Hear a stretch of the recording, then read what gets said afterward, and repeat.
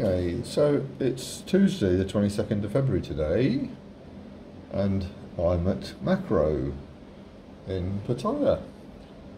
Um, we're going to do some shopping here.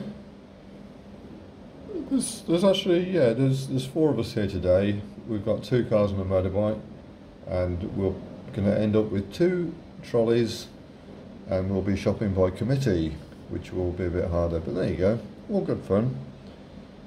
So we can have a wander around. Okay, so here's the here's a ticket. It's all in Thai and it says what we've got. But I'm just really showing you this so you can see and it has the total at the end, which is well, about 12 grand. So I, I spent 12 grand out of the charity pot.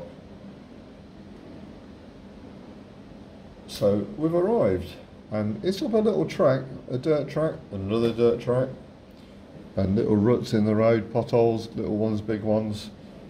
And then we've got some little huts here which people can stay in if they want to.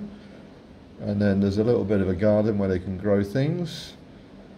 And then this is where they are. They've got a dormitory here for the ladies, dormitory for the men. And then there's a communal area for food and eating. Okay, so we're all here wandering about and having a look. Just arrived and we're about to unload the stuff. But I'm just taking a quick video before we do that. So here we go, there's me in the window, there's little red, and there's the grub. It's not all in here, some of it is in the other car. So we shared the load basically.